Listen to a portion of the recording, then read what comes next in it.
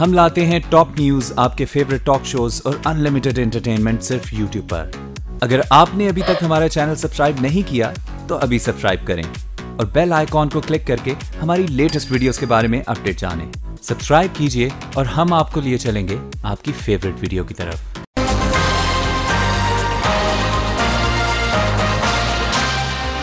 Voice of America के Washington studio में खुश आमदीद मैं हूँ साकिबुल इस्लाम। और मैं हूँ सारा जमान पिशावर का एक और तालीमी इदारा दहशत गर्दों ताज़ा तरीन तफसीलात आज के शो में। और मैदान जंग में नाकामी के बाद दाइश अब क्या हथकंडे अपना रही है। आज के शो में इसके अलावा और भी बहुत कुछ शामिल है तो शुरू करते हैं वॉइस ऑफ़ अमेरिका की पेशकश व्यू 360 भारत के मदारस में तालीम को जदीद बनाने की कोशिश। मदरसे में जहाँ अरबी की तालीम होती है वहीं पे हिंदी और अंग्रेज़ी की भी तालीम होती है। हुकूमत में कवाली की यादगार परफॉर्मेंस मैं कलाम को समझता हूँ और इसीलिए लोगों को समझाना चाहता हूँ। और एंटरटेनमेंट की दुनिया से कुछ दिलचस्प खबरें।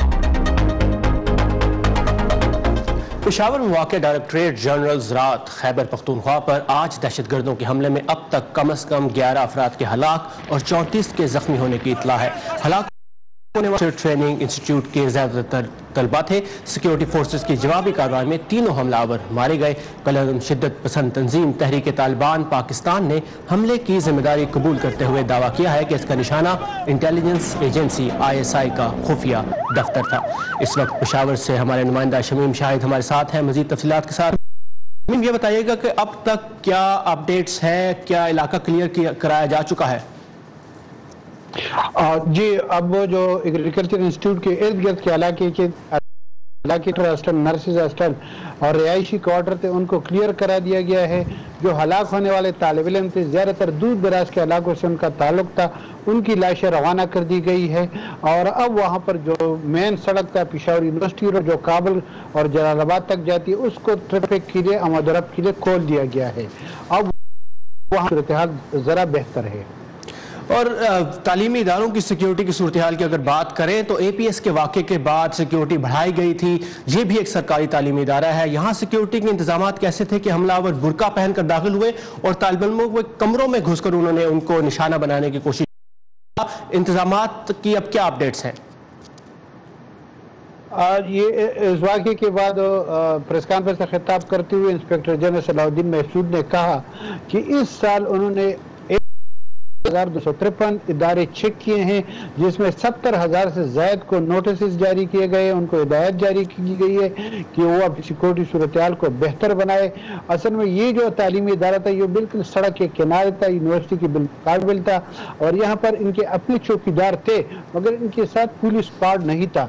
आई जी पी ने यह भी कहा कि इस सूबे में तालीमी इदारों की तादाद जो है, वो साठ हज़ार से जायद है, जबकि पुलिस नफरी की कुल तादाद पचासी हज़ार है। उन्होंने कहा कि ये नामुमकिन है कि हम इदारे को पुलिस सिक्योरिटी फराम कर दे। तमाम तालीमी इदारों के मुंतजमीन को हिदायत की गई है कि वो अपने अपने इंतज़ाम खुद करें। ये भी एक तालीमी इदारा था, मगर ये बहुत सुबह सवेरे था और किसी को शक भी नहीं था कि ये ये इसी किस्म का हमला होगा। ये इंतहाई सॉफ्ट कार्नर था। शमीम, उम्मीद है इस तरह का वाक्य मुस्तबिल में ना हो। अपडेट्स। दूसरी जानब जैसे जैसे दाइश शाम और इराक में शिकस्त के करीब पहुँच रही है उससे अपना पैगाम फैलाने में भी अब मुश्किल का सामना हो रहा है। तंजीम पर नज़र रखने वालों का कहना है कि पिछले कुछ माह में दाइश के प्रोपेगेंडा में वाज कमी आई है। मैदान जंग में नाकामी के बाद अब ये तंजीम खौफ हरास फैलाने के लिए क्या तरीके आजमा रही है जानते हैं इस रिपोर्ट में। इस्लामिक स्टेट नामी ग्रोह की जानब से शाया करदा एक हालिया वीडियो। ये देखने में रक्का लग रहा है।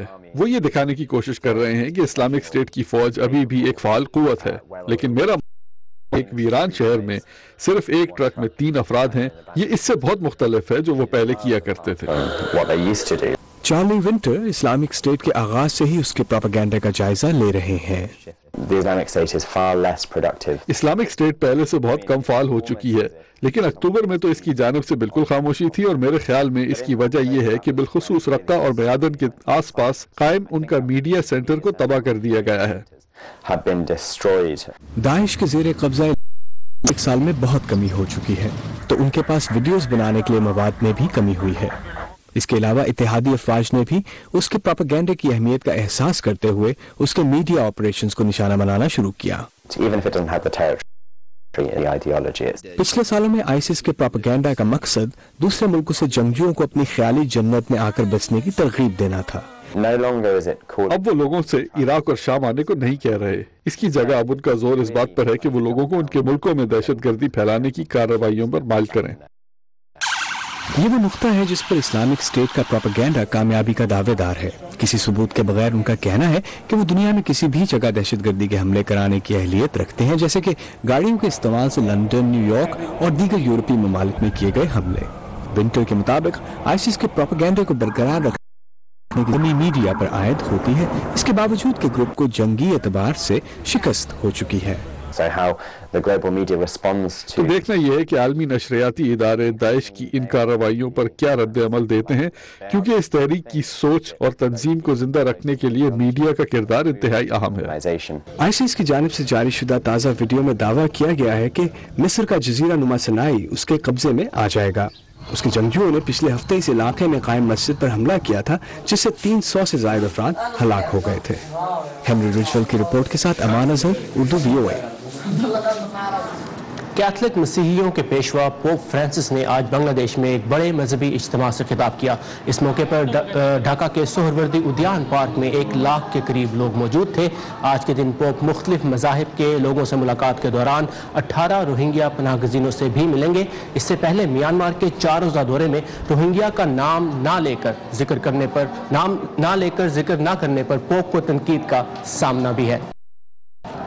और भारत के मदारस में तालीम को जदीद बनाने की कोशिश पर एक रिपोर्ट आपके लिए हम लेके आएँगे प्रोग्राम में। आगे चलकर। और अमरीका के सबक सदर बराक ओबामा है जहाँ उन्होंने आज दलाई लामा और वजी अजम नरेंद्र मोदी से मुलाकात की है। पाकिस्तान के बारे में उन्होंने क्या कहा जानने के लिए आइए हमारी website Urdu V O A dot com पर। और यहाँ वाशिंगटन में ईद मिलादुलनबी के सिलसिले में समा में भी आपको लेके चलेंगे। कुछ ही देर में लेकिन पहले आइए देखते हैं कुछ अहम बैन अवी खबरों की झलकियाँ वर्ल्ड व्यू में। अकवा मुतहदा के इंसानी इमदाद के चीफ मार्क लुकॉफ ने सऊदी अरब और उसके इतिहादियों से यमन की नाकाबंदी को मुकम्मल खत्म कराने का मुतालबा किया है। तहम उन्होंने इसे बैन अवी कवानीन की खिलाफ वर्जी करार देने से इनकार कर दिया है।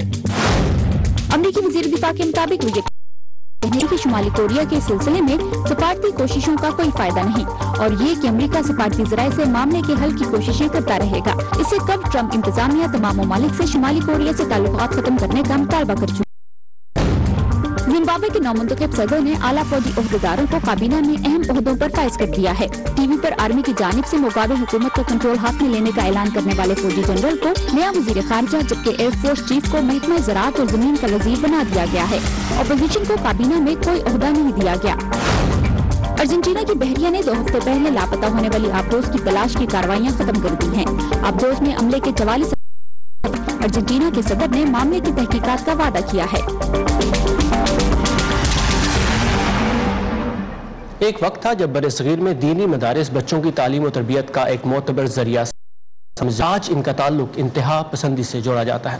भारत में मरकजी हुकूमत पिछले कई सालों से मदारस के निज़ाम में असलाहत लाने की कोशिश कर रही है और इस दिन में शुमाली रियासत उत्तर प्रदेश की हुकूमत इस्लामी स्कूलों में निसाब को जदीद बनाने का फैसला किया है। इस और तालब इस तब्दीली के बारे में क्या सोच रहे हैं देखते हैं इस रिपोर्ट में। उत्तर प्रदेश की हुकूमत के मुताबिक नए तालीमी साल से रियासत के मुस्लिम दीनी मदारस में National Council of Educational Research और ट्रेनिंग की किताबों को मुतारफ कराया जाएगा।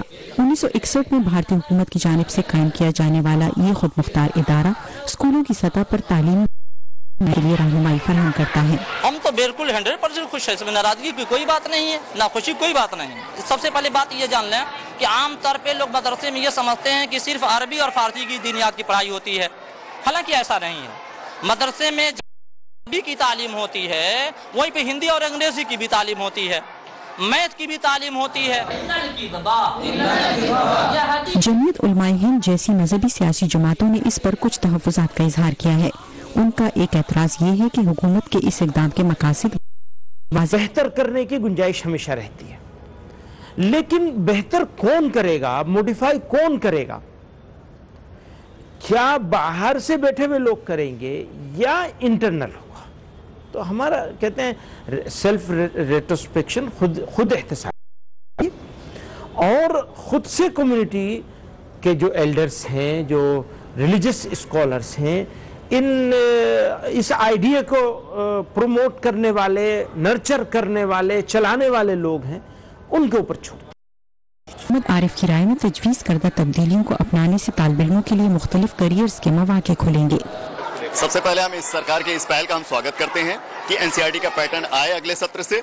उससे क्या है मदरसों के जो एजुकेशन है उसमें गुणवत्ता आएगी। रियासत की हुकूमत के मुताबिक इस इकदाम का मकसद इस्लामी स्कूलों में निसाब को बेहतर बनाना और उन्हें पब्लिक और प्राइवेट स्कूलों के बराबर लाना है।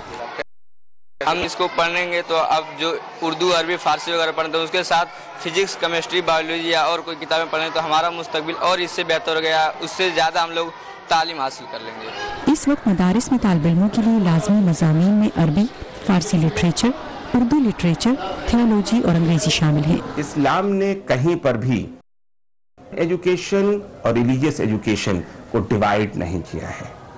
बेसिकली जो ह्यूमन बींग की ज़रूरत है जिससे इंसान तरक्की कर सके, जिससे कौम तरक्की कर सके, जिससे मुल्क तरक्की कर सके, जो इंसान के लिए नफा बख्श है। रिपोर्ट्स के मुताबिक इस वक्त रियासत में सोलह हज़ार मदारस हैं।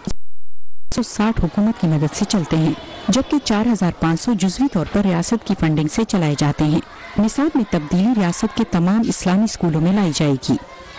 रितु जोशी के साथ नीलोफर मुगल, उर्दू बी और अब कुछ बात अमरीका की। यहाँ इस वक्त मनशियात और नशा आवर अद्वियात का गलत इस्तेमाल एक वबा की शक्ल अख्तियार कर चुका है।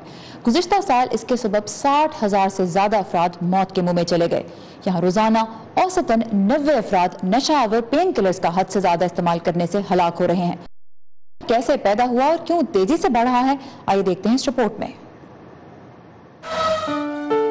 अमरीकी रियासत फिलाडेल्फिया के इलाके किंगसिंगटन की गलियों में हर रोज कई अमरीकी नशावर अद्वियात की ज्यादती के बायस हलाक हो रहे हैं।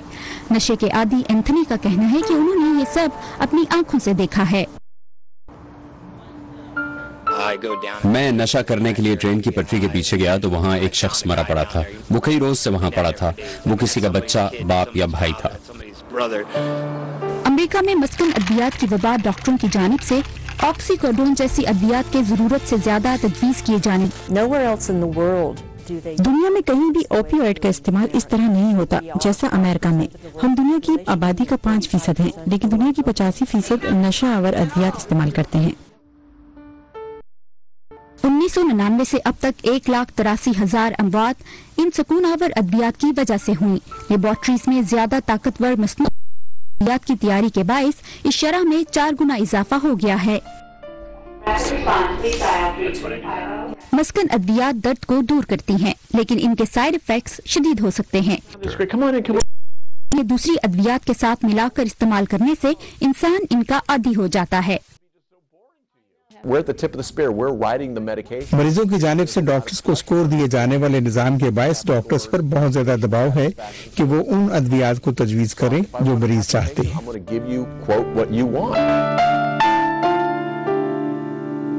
मस्कन अद्वियात दर्द को दूर करती हैं, लेकिन इनके साइड इफेक्ट्स शदीद हो सकते हैं और इन्हें दूसरी अद्वियात के साथ मिलाकर इस्तेमाल करने से इंसान इनका आदि हो जाता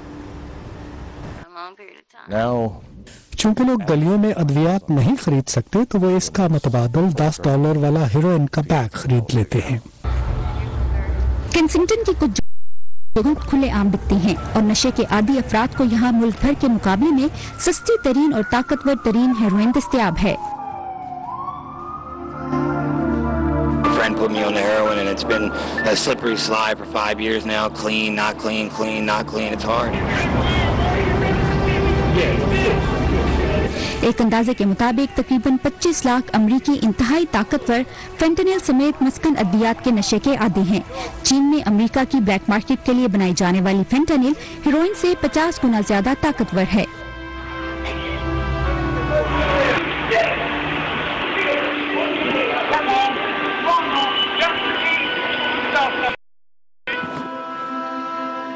डेवी के मुताबिक फेंटेनिल की थोड़ी सी मिकदार को हेरोइन से मिलाकर पीने से इंसान की हलाकत हो सकती है.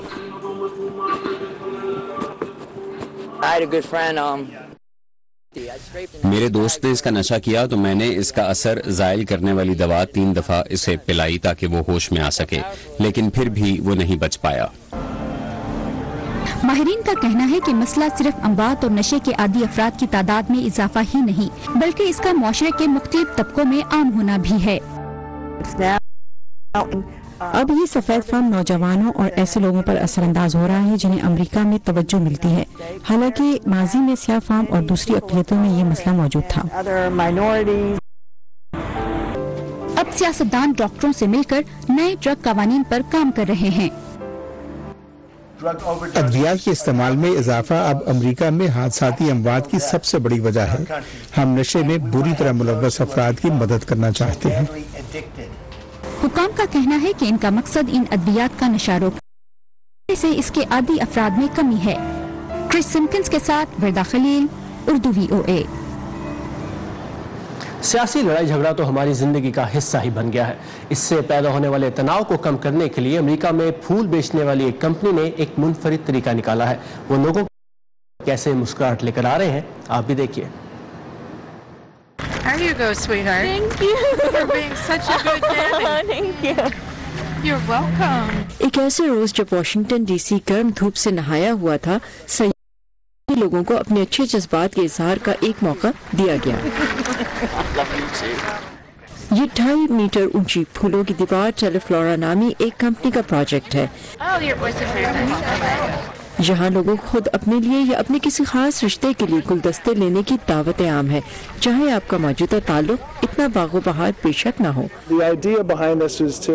इसके पीछे ये ख्याल कार फरमा है कि लोगों को एक अलामती दीवार को गिराने की दावत दी जाए, जो हम अपने आम ज़िंदगी और रिश्तों में खड़ी कर लेते हैं, जैसे कि प्यार करने वालों के साथ साथ काम करने वालों, पड़ोसियों, यहाँ तक कि सियासत में दोनों ही जाने मकामी फूल वाले जिनकी दुकान ने ये बुके बनाए हैं कहते हैं कि इस ख्याल से वो फ़ौरन ही मुतफिक हो गए थे।